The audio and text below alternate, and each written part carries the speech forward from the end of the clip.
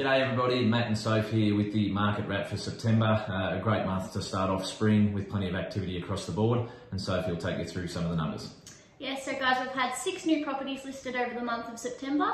Eight properties went under contract, um, the lowest price being two blocks in Mount Egerton. They both went for 310000 each.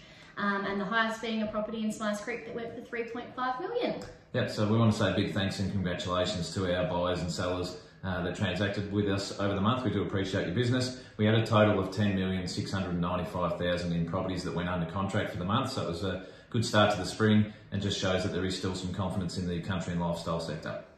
Yeah, so we've got some great new properties coming up this week and over the next month and already on our books. So if you are in the market for a new property, um, just get in contact with us and we can certainly help you out. And if you are, as I've said, if you are looking to buy or if you're looking to sell or you just like some property advice, feel free to reach out to us here on social media or give one of us a call. We'd be happy to help. That's it for the month. We'll see you soon. Thank